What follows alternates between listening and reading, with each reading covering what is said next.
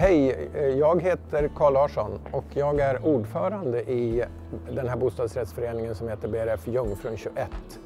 Den hissen som vi har bytt ut det är på Sibyllegatan 26. Vi har ju två trapphus i, i huset.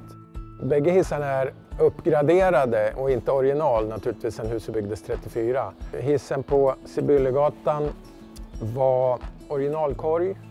Maskineriet var bytt men det var en sån här skarvad eh, drivaxel som vi hade anstånd med.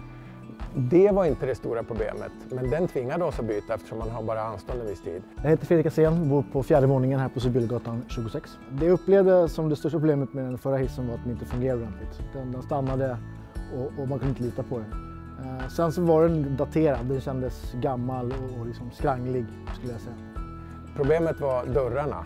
De fastnade och vi hade problem, den fastnade var och varannan dag på olika plan och så stod den still i någon timme och det här gjorde ju att folk, eh, speciellt folk med rörelsehinder, hade jättestora problem. Den största fördelen med nya hissen är naturligtvis att den fungerar, att, att, att den känns säker och att det, det, går upp och ner på ett bra sätt. Eh, sen upplever jag att den känns ganska modern. Eh, det är, eh, det är säkrare, det är tryggare med dörrarna som stängs ordentligt.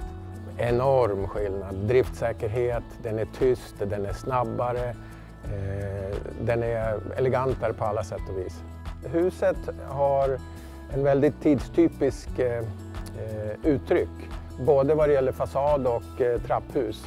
Så att, eh, och delvis glasade hisschakt, så vi var noga med att den skulle passa in i den gamla stilen. Vår upplevelse av Kone är mycket bra. Kone är en stor hissleverantör och eh, vi hade en styrelseledamot vid den tiden som hade goda erfarenheter av Kone. Så vi frågade Kone efter en offert och om jag backar tillbaks till den offerten vi fick så kände vi oss väldigt trygga med att Kone tog ett totalansvar. Vilket gjorde att vi dessutom inte behövde anlita en projektledare. Utan vi drev projektet direkt med Kone som dessutom skötte många av våra myndighetskontakter. Det jag tyckte var roligt när den här byggdes eh, det var att det är ett förhållandevis gammalt hus det här och eh, man var lite rädd att en, att en hissrenovering skulle orsaka stora skador på huset. Eh, så tycker inte jag det var alls. Det var imponerande att se och jag tycker att det var väldigt smidigt. Så att eh, vi har mycket goda erfarenheter av Kone. Eh, personalen på plats, säljarna, Eh, Eh, folk på kontoret. Eh, rakt över linjen, mycket bra erfarenheter.